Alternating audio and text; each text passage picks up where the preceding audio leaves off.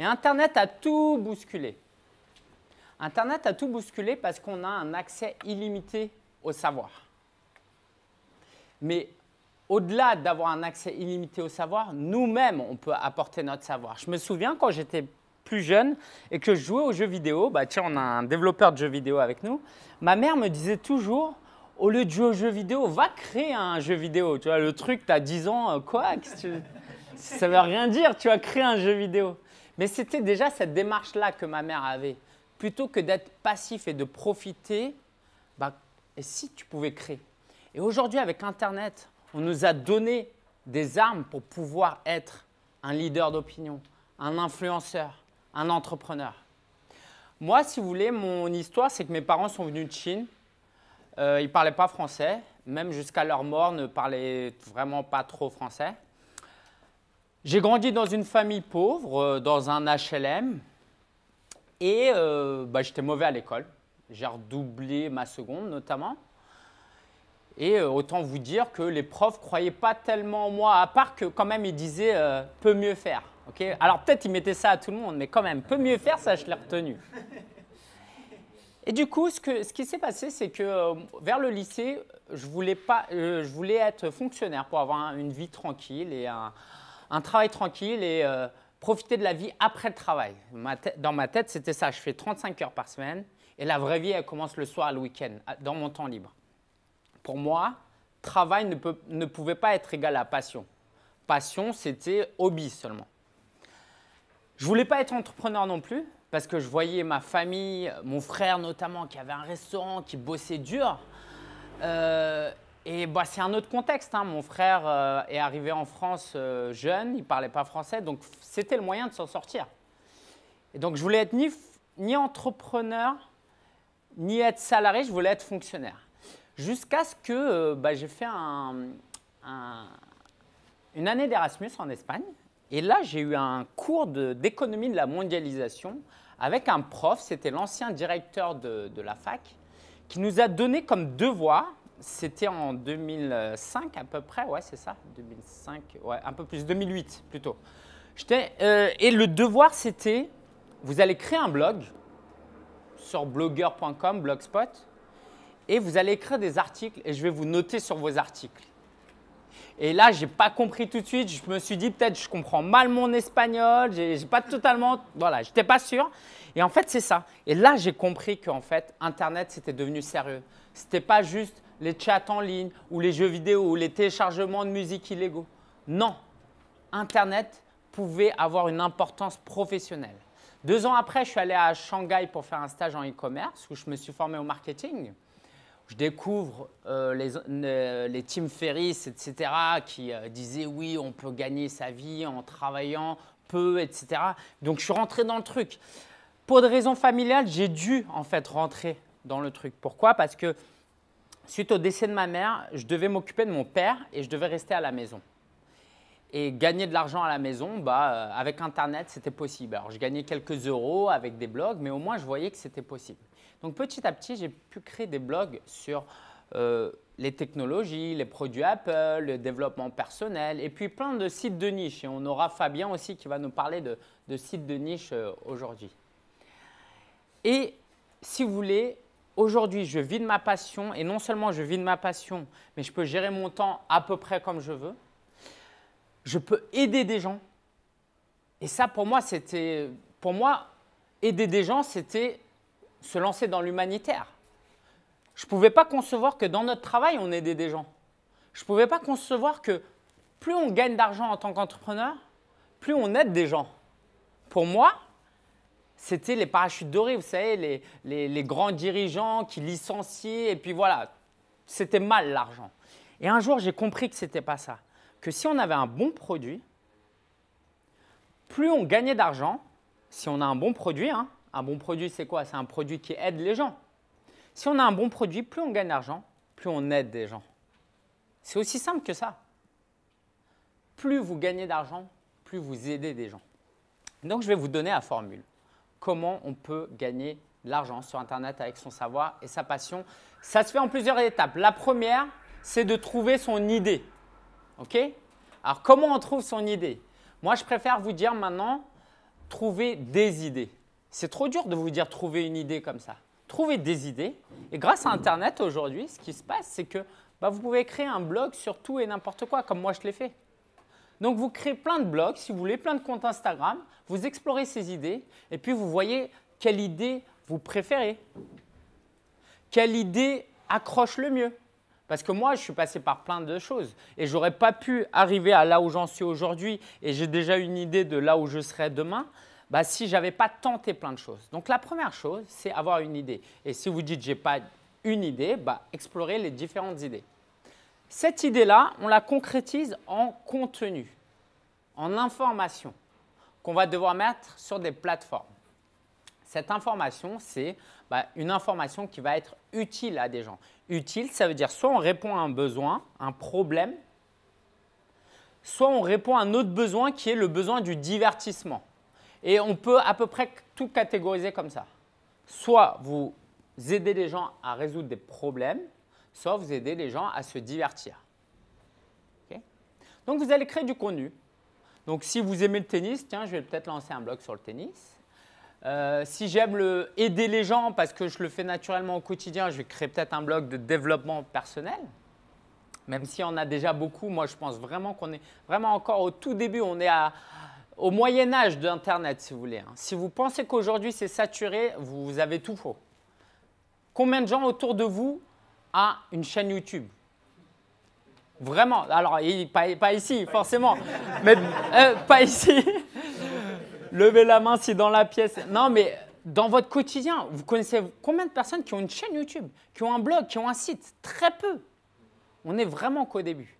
Donc, l'idée, ça va être d'apporter des solutions, des réponses sous forme d'articles, de vidéos, de podcasts audio, de livres et de le mettre sur des plateformes dédiées. Donc, si vous voulez faire des vidéos, il y a YouTube, il y a IGTV, Facebook. Podcast audio, bah, il y a des plateformes comme Ocha, SoundCloud. Maintenant, ça va sur Spotify. Hein. J'ai lu dernièrement que Spotify a un contrat avec le couple Obama pour faire un podcast dédié exclusif sur leur plateforme. Je vous laisse imaginer combien coûte ce contrat-là. C'est euh, des millions et des millions. Vous mettez sur les plateformes et puis vous créez beaucoup de contenu. Vous créez beaucoup de contenu et vous attendez un peu que les choses se fassent. Maintenant, idéalement, vous allez avoir une démarche marketing. La démarche marketing, c'est c'est bien ces gens qui écoutent, qui regardent, qui lisent, mais comment je peux capter leur attention vraiment, véritablement? Eh bien, aujourd'hui, ce qui marche encore, c'est le marketing par email. Le marketing par email, c'est indispensable parce que quand vous avez l'email des gens, vous pouvez leur envoyer des emails régulièrement jusqu'à ce qu'ils se désabonnent. D'accord? Et s'ils se désabonnent, bah, il y a deux choses. Soit ce n'est pas votre public, donc ce n'est pas grave. Soit vous n'avez pas été bon, mais ce n'est pas grave de ne pas être bon quand on est au début. Alors j'aimerais adresser une objection dès maintenant. Qui pense que l'entrepreneuriat est difficile? Levez la main. Qui pense que euh, le salariat est difficile? Merci. C'est ça que j'aimerais vous faire comprendre. Dans l'absolu, l'entrepreneuriat c'est difficile. C'est difficile. Toutes les personnes qui vous disent que c'est facile, c'est euh, faux. C'est difficile. Maintenant, ça c'est dans l'absolu, mais de manière relative, c'est peut-être très facile comparé aux autres options. C'est quoi les autres options? Travailler 40 ans dans un boulot qu'on n'aime pas avec des collègues qu'on n'aime pas? Ça, c'est facile peut-être. Comparé à ça, ah, finalement, galérer un peu à trouver un plugin, c'est peut-être plus agréable que de galérer à prendre le RER e avec plein de gens euh, autour et quand le RER e est bloqué qu'il y a une grève. Avoir un problème avec un client, c'est peut-être moins pire que euh, d'être mis au placard. Quand j'ai appris ce concept, j'ai dit, mais de, de ça existe vraiment? Être mis au placard, je ne sais pas si tout le monde voit ce que c'est. Ok, je, vous le dis pour les deux personnes qui ne savent pas, c'est apparemment si vous n'êtes pas assez bon dans votre boulot et qu'on ne veut pas vous licencier et que vous ne voulez pas partir parce que vous êtes dans une prison dorée, eh ben on vous donne plus de travail et toute la journée, bah, vous faites rien. C'est un supplice, c'est horrible, c'est monstrueux. C'est génial. Alors, euh, Fabien vous partagera son expérience d'entrepreneur. Il y a des fois, c'est tellement difficile l'entrepreneuriat qu'on aimerait avoir ça, c'est ça? Voilà. Alors, faites passer la bonne nouvelle, effectivement. Bah moi, je me suis souvent dit ça, hein, si je pouvais être salarié. Moi, il y a des métiers que j'envie, c'est les métiers où tu as des euh, vendeurs qui attendent des clients comme ça. Vous en voyez souvent. Hein. Tu sais, euh, des magasins, des restaurants, quelquefois, où c'est vide et ils attendent comme ça.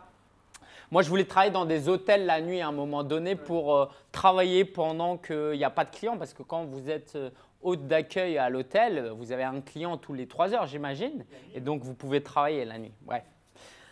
En fait, L'entrepreneuriat est facile quand on le compare à avoir un burn-out. Je ne vais pas vous faire lever la main si vous avez déjà vécu un burn-out, mais combien de personnes j'ai accompagnées qui ont fait des burn-out Alors évidemment, dans l'entrepreneuriat aussi, on peut. Mais il y a quand même un peu une différence. C'est que dans l'entrepreneuriat, bah, vous le cherchez un petit peu, ok ou du moins, vous êtes acteur, vous êtes responsable. Voilà, on va plutôt dire ça. Alors que dans le salariat, très souvent, vous le subissez. Donc, si vous dites que l'entrepreneuriat c'est difficile, oui c'est difficile, mais comparez-le aux alternatives. Et comparez cette difficulté aussi aux bénéfices que ça peut vous apporter. Si c'est difficile et que vous pouvez impacter la vie de milliers de gens, gagner autant d'argent que vous voulez, parce qu'il n'y a pas de limite, hein, avoir une maison, avoir du temps libre, parce que quand vous gagnez bien, au bout d'un moment, vous pouvez dire soit je continue à gagner plus, soit je peux travailler moins. Évidemment, l'idée, c'est aussi de faire un peu les deux, d'accord? Parce que c'est aussi une pensée limitante de penser qu'on ne peut pas gagner plus en travaillant moins. Mais toutes ces options-là, vous ne pouvez pas les avoir. Moi, je n'aurais pas pu m'occuper de mon père à la maison si je n'avais pas été à mon compte. Il y a plein de choses que j'ai fait pour ma famille, voilà, quand je me suis occupé un peu de mon neveu. Euh, si j'avais été salarié, j'aurais pas pu. Alors, il y aurait eu d'autres avantages hein, que j'aurais eu. Donc voilà, ça c'était quelque chose que je voulais adresser. On reprend le chemin. Je crée du contenu. J'ai quelques idées. Je crée du contenu. Je mets ça sur des plateformes. Maintenant, je cherche à capter les emails. Ok? Comment on capte les emails? Comment on fait? Qu'est-ce qu'on leur propose en échange? Un cadeau, un bonus, les e-books. Ok, vous connaissez tous comment ça marche. Une formation gratuite, un e-book, tout ça. Est-ce que c'est dur de faire une formation vidéo? Dans l'absolu, oui. Mais est-ce que c'est vraiment difficile comparé à euh, faire euh, une première année de médecine? Encore une fois, c'est parce que comme on est à notre compte, on se dit c'est difficile, c'est difficile, mais on ne compare pas à ce, euh, ce, à quoi on devrait comparer les choses. On offre un cadeau et on capte les emails. Donc, on va faire des vidéos et cette fois, on va passer en mode entrepreneur. Bonjour, bienvenue, avant de regarder cette vidéo, je vous propose de cliquer sur le lien ci-dessous pour télécharger votre e-book. Voilà, on commence à apprendre cette démarche-là. On collecte, les emails. Pour rappel, hein, le taux d'ouverture moyen d'un envoi d'email, c'est 20%. C'est-à-dire que si vous avez 1000 emails et que vous envoyez un email une fois, hein, pas mille fois une fois, mais une fois et que ça part à 1000 personnes, parce qu'encore une fois, Internet vous offre cette possibilité-là, hein, euh, bah sur 1000 personnes, il y en a 200 qui vont ouvrir. Et si vous êtes marketeur et motivé et convaincu par votre produit, les 80% qui n'ont pas ouvert, vous leur envoyez un email. ok? Que à ces 80%-là, avec à peu près le même email, et vous allez monter à 30% de taux d'ouverture. Il y a très peu d'autres plateformes qui peuvent vous offrir ça, à part les bots Messenger, les SMS. Mais bon, on ne sait pas de quoi demain est fait. Donc, vous captez les emails. Et là, qu'est-ce que vous faites? Il va falloir créer une relation avec votre communauté.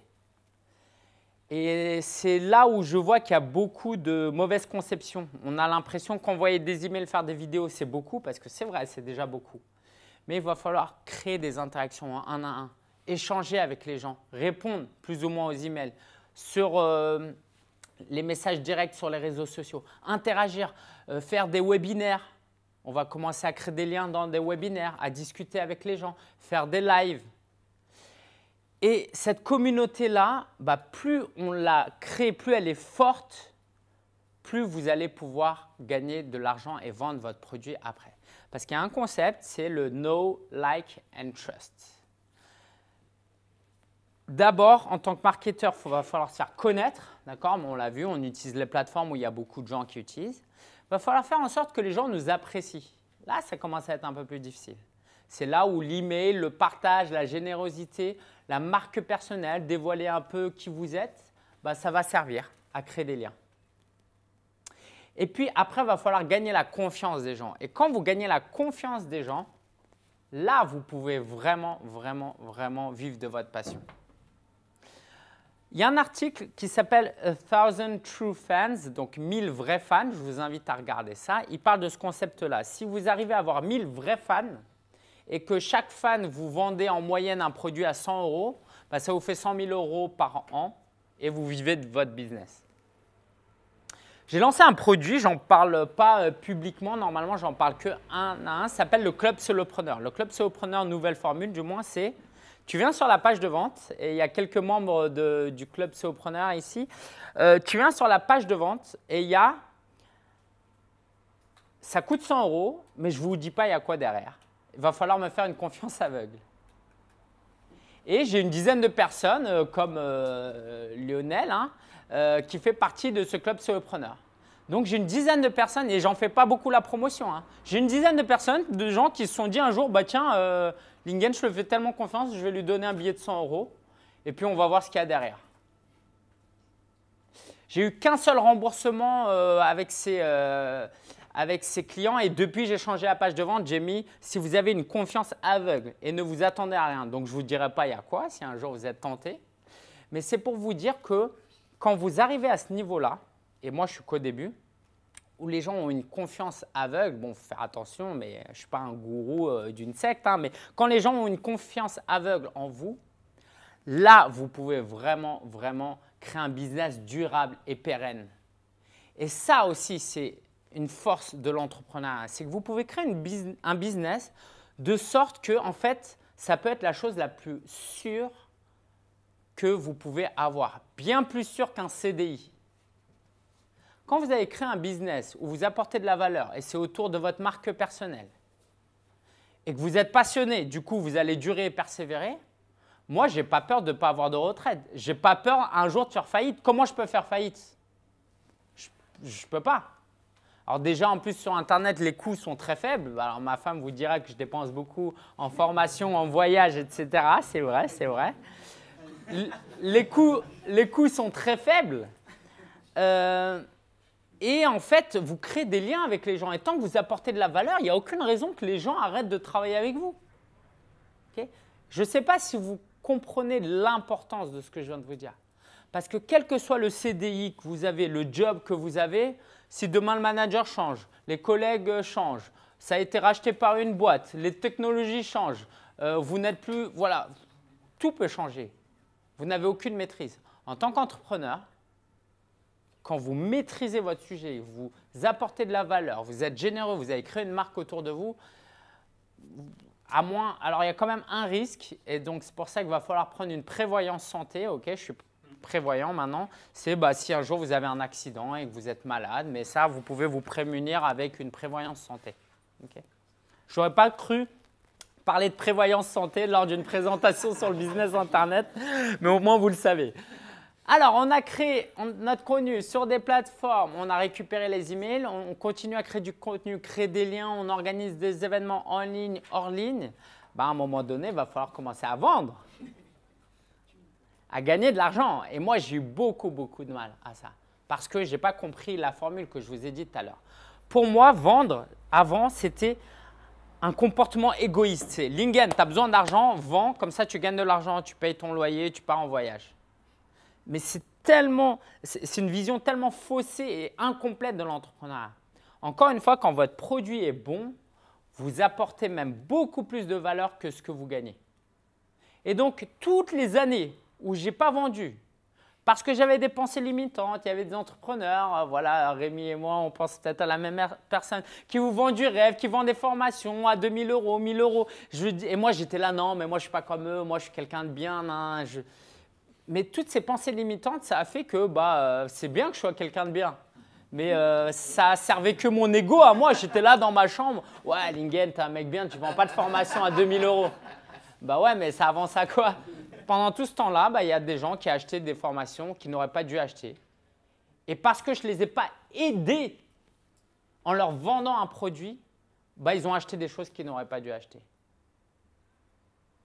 Et donc, quand j'ai commencé à comprendre ça, et que j'ai commencé à comprendre que être, euh, gagner de l'argent et être riche, ça ne voulait pas forcément dire qu'on était quelqu'un de mauvais, parce que je ne sais pas pour vous, mais moi j'ai cette conception que le pauvre SDF, c'est quelqu'un de gentil, et le millionnaire, c'est forcément quelqu'un de méchant. Alors moi, je pense que la pauvreté nous forme à être euh, parfois plus gentil, mais ce n'est pas aussi simple que ça. Moi, je faisais des maraudes avant où j'allais euh, dans la rue avec une association aider les gens tu avais des gens très gentils et des gens très méchants. Tu avais des alcoolos et des non-alcoolos. Eh? Tu avais des drogués, des non-drogués. Je ne vais pas faire d'études. Est-ce que les pauvres sont en moyenne plus gentils que les riches? Je ne sais pas. Mais ce que je peux vous dire, c'est qu'à partir du moment où c'était en septembre 2018, il n'y a pas très longtemps, où j'étais aux États-Unis, j'ai rencontré des millionnaires qui avaient les mêmes valeurs que moi, notamment au niveau de ma foi, et qui restaient des gens humbles et simples et qui apportaient de la valeur et qui continuent à s'enrichir, j'ai dit, mais c'est possible en fait. Et d'où m'est venue cette idée que devenir riche, c'était forcément mal? Alors oui, ça comporte des risques. Ça comporte des risques parce que l'argent, ça peut être comme une arme. ok? Vous pouvez détruire plus de vies en, ayant de l'argent que quand vous n'en avez pas, c'est sûr. Donc quand j'ai commencé à comprendre ça, j'ai commencé à vendre plus de formations. Euh, à donner plus de cours, à faire plus de coaching, à augmenter mes prix. Donc c'est ce que je vous invite à faire. C'est qu'à partir du moment où vous avez une méthode, vous avez des connaissances, vous avez une écoute qui peut aider la vie des gens, toutes les fois où vous ne vendez pas, vous gardez ça pour vous. C'est comme si vous avez un vaccin pour euh, une maladie et que vous gardez ça chez vous. Non, mais je ne vais pas vendre ce vaccin quand même, ça ne se fait pas, je devrais le donner gratuitement. Sauf que si tu donnes gratuitement, bah, tu ne peux pas vivre. Du coup, il faut que tu travailles et il faut que tu arrêtes. Bon, après, euh, je ne défends pas les industries pharmaceutiques parce que c'est beaucoup plus compliqué. Il y a tout un truc euh, tordu, mais c'est ça l'idée. Je voulais vraiment vous faire comprendre ça l'idée. C'est que vous avez en vous, chacun d'entre vous, là, à l'heure même, des compétences, du temps, une énergie, une écoute, des facultés qui peuvent aider des gens. Aider des gens. Et l'entrepreneuriat, c'est rien d'autre que de répondre, résoudre des problèmes. Donc, commencez à vendre quoi? Des formations en ligne, du coaching, euh, vous pouvez vendre des e-books, des livres. Et ce serait incomplet si je m'arrêtais là. Ce serait incomplet parce que moi, pendant des années, en, 2017, j'ai fait 30 euh, 000 euros de CA, en 2018, 60 000 et là, je vais encore doubler normalement si tout se passe bien. Euh, et une chose que je n'avais pas compris, c'est que ben, ces gains-là, à ces montants-là, ça me permettait juste d'être en survival mode. Alors, je ne sais pas s'il y en a qui jouent aux vidéos, ils savent ce que c'est. Le survival mode, dans certains jeux vidéo, c'est, par exemple, c'est un jeu de combat où tu as plein d'adversaires. À chaque fois que tu bats quelqu'un, tu as un autre adversaire de plus en plus fort et ton sang diminue, quoi, ta, ta jauge d'énergie, jusqu'à ce que tu meurs. Et en fait, j'étais comme ça. J'étais un entrepreneur en mode survie. Je ne gagnais pas vraiment ma vie. C'était le stress tout le temps, tout le temps, tout le temps. Donc, pour vraiment gagner votre vie, est-ce que, vous est-ce que vous avez une idée de quoi? C'est mon avis, ça vaut ce que ça vaut. Combien vous diriez euh, qu'il faut faire comme chiffre d'affaires par mois pour commencer à sortir de cette mode survie? Combien par mois de chiffre d'affaires? En tant qu'entrepreneur web, euh, genre j'ai pas de salarié. Hein. Solo. 3 000 5 000 7 000 5 000 on, dirait des enchères. Tiens, je vends ce trépied. Entre 3 000 et 7 000. Moi, j'ai euh, le même avis que Rémi. Moi, je pense qu'à partir de 5 000, c'est le minimum. OK? Pour rappel, alors on oublie le régime micro-entrepreneur qui est censé être juste passager, qui est très bien, hein.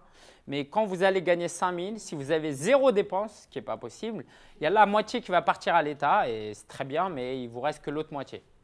Mais à partir du moment où vous avez des dépenses, si vous gagnez 5 000 et que vous dépensez 2 000, il vous reste 3 000, et il y a la moitié qui va partir à l'État. Ok, bon voilà. Mais c'est cette idée-là c'est qu'il va vous falloir au moins 5 000 de chiffre d'affaires pour avoir 2-3 000 euros de bénéfices. Et encore, c'est tout juste parce que si vous avez un client et que vous le perdez, comme ça m'est arrivé euh, l'été euh, de l'année dernière, bah, vous faites comment si vous n'avez pas gagné plus les mois d'avant? C'est compliqué. Donc, il faut avoir des réserves. Chose qui est là, pour le coup, le CDI, c'est bien parce que vous êtes tranquille. Donc, comment on fait pour gagner, pour dépasser cette barre des 5000 euros de chiffre d'affaires? Alors, encore une fois, en tant que client, en tant que prestataire, en tant qu'observateur et marketeur, ce que je vais vous dire là, c'est euh, universel, du moins à l'instant T. Je vais vous donner quelques pistes. Et même si vous n'êtes pas encore là, réfléchissez si, réfléchissez si, merci. Maintenant, euh, il va y avoir la vente de coaching, mais en pack pas juste une ou deux heures à 100, 200 euros. Comment je peux vendre un pack de 10 heures de coaching ou un pack sur trois mois Aujourd'hui, moi, j'ai même un pack mentorat sur, euh, sur un an. OK? Je vous dis pas le prix, vous irez voir euh, sur lingensia.com. Euh, les groupes mastermind, c'est une grande mode aujourd'hui aux États-Unis et ça répond à un vrai besoin et on va parler de ça, c'est réfléchissez et devenez riche c'est bah, l'idée de regrouper plusieurs personnes. Comme ça, vous n'échangez pas votre temps contre de l'argent pour une personne, mais vous avez plusieurs personnes. Vous faites de plus grandes marges. Et ça peut être en présentiel, en ligne. Moi, je suis client d'un mastermind, par exemple, qui me coûte 425 dollars par mois, où toutes les semaines, on a une heure d'appel. On est 10, et puis on parle un peu de sa vie pro et perso. Et donc, celui qui a créé ça, c'est Aaron Walker. Il a une quinzaine de groupes, je crois. Donc, il a 150 personnes qui en moyenne, on va dire, euh, payent 400 dollars parce qu'il y en a qui sont rentrés plus tôt. Bref, ça fait un demi-million de chiffre d'affaires juste avec des masterminds. Alors évidemment, il y a quelques frais parce qu'il organise des événements en présentiel deux fois par an où tout est pris en charge, mais il ne serait même pas obligé de faire ça. Donc la marge est énorme. Donc les masterminds. Est-ce qu'il y en a des, il y a des questions sur le mastermind? Est-ce que c'est clair? Non, pas clair pour moi. Vas-y, vas-y de manière plus pratique, alors euh, c'est l'idée du cerveau collectif. Euh, l'auteur dit ça, c'est que quand deux personnes se rassemblent euh, pour travailler, il y a comme une troisième force invisible qui arrive. Et c'est cette idée que moi, dans mon business, si j'ai des problèmes et que je me retrouve avec 3, 4, 5 personnes et que régulièrement on parle de nos problèmes business toutes les semaines, eh ben en fait, je profite du cerveau collectif. Les autres vont m'apporter des solutions. Donc moi, je suis tout seul, mais je vais avoir quatre cerveaux et c'est ni des salariés ni des partenaires, c'est juste des gens. Bon, il euh, faut quand même payer pour faire partie de ce groupe mastermind ou pas. Hein, vous pouvez créer des groupes mastermind. Et si vous faites ça toutes les semaines pendant un an, votre business n'aura plus jamais le même visage. Donc moi, je fais partie d'un mastermind comme ça. Je vais en rejoindre un deuxième. Avec Jonathan Pat, tous les mois, on se fait un appel aussi. Et ça, c'est quelque chose que vous pouvez vendre. Est-ce que tu, c'est quoi ton business? Tu sais ce que tu fais ou pas? En fait, moi, je n'ai pas. Pas encore. Tu as, une idée de ce que tu veux faire? Vas-y, dis-nous. La photographie. La photographie. Ok. La photographie, par exemple, euh, pure improvisation, hein, mais si tu fais un groupe mastermind où tu rassembles des photographes pour leur dire, bon, on va se retrouver une fois par semaine pendant une heure pour parler de business, comment on peut trouver plus de clients, eh ben, tu peux gagner de l'argent comme ça. Quand toi, tu commences à monter un peu et que tu as des débutants, pour les aider à eux aussi monter, tu peux facturer 100 euros par mois, 200 euros par mois. Et s'ils sont 10, ça te fait 1000, 2000 euros par mois de récurrent pour juste un appel par semaine. Après, tu peux être sur WhatsApp, répondre à leurs questions, etc. Et en plus, toi, tu es juste un facilitateur. Bien sûr, tu coaches un peu, mais eux, ils vont discuter entre eux. Et c'est un super business model. Pourquoi? Parce que les gens, ils viennent pour, avoir, pour euh, résoudre un problème, mais en fait, ils vont rester pour la relation qu'ils vont avoir entre eux. Ils ne vont pas vouloir quitter le groupe. et donc, euh, voilà, les Tony Robbins, euh, c'est des, des, groupes mastermind à des centaines de milliers de dollars. Ouais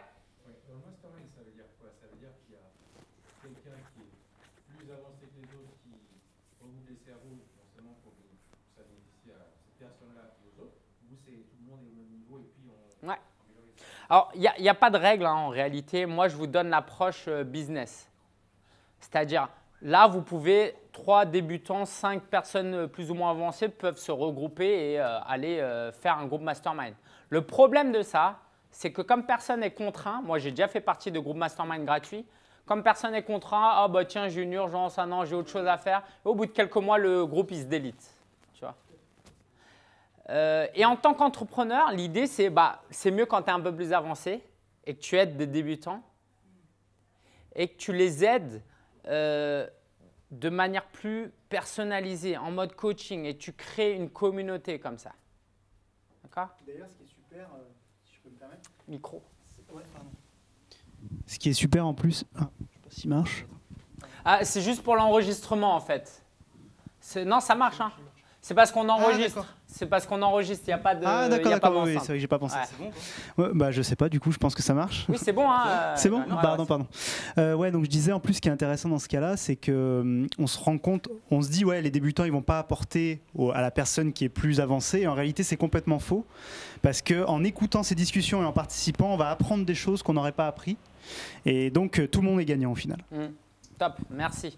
Donc ça, c'est les masterminds. Maintenant, qu'est-ce que vous pouvez faire aussi Euh, bah, Je vous ai parlé tout à l'heure des coachings et vous pouvez faire des plus grosses formations à partir de 2000 euros, 1500 euros, où là, vous offrez de l'accompagnement derrière. Parce qu'aujourd'hui, ça va être de plus en plus difficile de vendre des formations à 2000 euros avec un accompagnement derrière. Moi, comment je fais, c'est qu'il y a euh, y a des groupes de coaching en groupe. Et ça, je peux le valoriser plus cher. Je dis, bah voilà, vous n'achetez pas des vidéos, vous achetez un accompagnement, une méthode. ok? Donc ça, si vous avez 10 clients à 2000 euros, ça vous fait 20 000 euros. Si vous faites ça trois fois dans l'année, ça vous fait 60 000 euros, par exemple. Et vous pouvez monter. Après, vous pouvez avoir une équipe. Moi, je suis avec Mamadou, là, qui m'aide de plus en plus. Plus tard, je pourrais prendre 30 clients, 40, 50 clients. Pourquoi? Parce que soit je peux déléguer une partie du coaching, par exemple du coaching technique, je me, je me focalise que sur la stratégie. Pouvez scaler.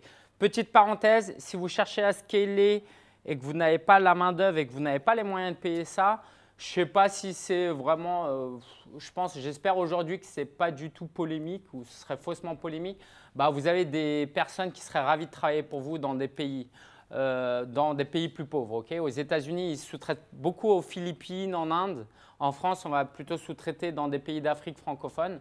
Mamadou, euh, voilà, je n'ai aucun problème à le dire, euh, c'est. euh, Waouh, j'ai augmenté en fait. C'est 500 euros par mois maintenant pour 35 heures par semaine. Ok, donc, et en fait, j'aurais jamais les moyens de payer ça en France. Et lui, il est hyper content. 500 euros par mois, c'est énorme là où il est. Donc ça, ça me permet de scaler un peu. Sinon, je ne pourrais pas faire ça. Voilà. Parenthèse fermée.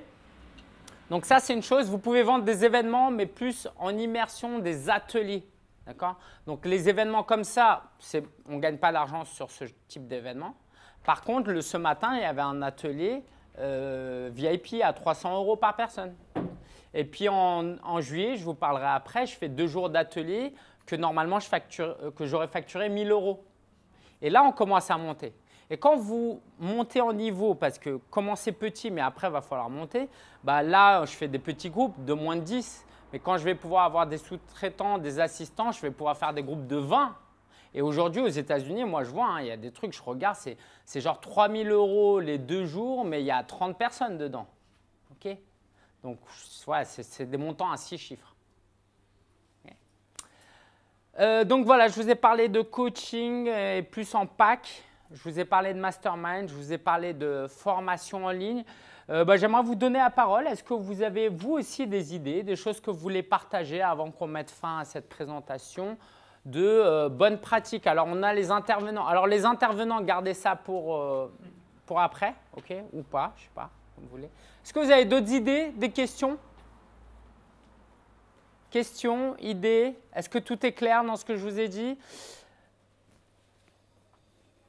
Ok, bah, je vais juste terminer par ça. Gardez en tête le Customer Lifetime Value, la valeur à vie de vos clients. Un bon client va potentiellement rester longtemps, mais il va falloir lui proposer autre chose. Je prenais l'exemple ce matin, je disais quelquefois on se dit, tiens ce client je lui ai vendu un truc, ah je ne vais pas lui revendre un truc trois mois après parce que ça ne se fait pas, je lui ai déjà pris de l'argent. Et j'ai donné comme exemple, bah, imaginez, euh, Marvel, Disney qui se dit tiens, on a fait deux Avengers, c'était bien. Les gens, ils ont déjà payé. On va pas leur faire un troisième Avengers en plus, ça se fait pas quoi. Ils vont encore payer. Mais non, mais les gens, ils veulent ça. Votre produit est bon, vous les aidez. Vous ne leur prenez pas de l'argent. C'est eux qui décident de vous le donner s'ils estiment que vous apportez un plus grand bénéfice. On a beaucoup de choses à voir après. J'aimerais donner la euh, place aux intervenants maintenant. On aura un temps à la fin de discussion plus en petits groupes autour du livre. Je ne crois pas que je vous ai dit, mais voilà. Je suis très content de vous avoir partagé ça et j'espère que vraiment vous garderez ce schéma qui va vous aider à créer un business en ligne, non seulement qui va vous permettre d'être épanoui et de gagner de l'argent, mais qui va vous permettre d'aider des gens et d'avoir un business pérenne et durable. Et ça, c'est encore plus puissant que juste gagner de l'argent. Comment, de manière durable, je peux gagner de l'argent et aider des gens. Merci.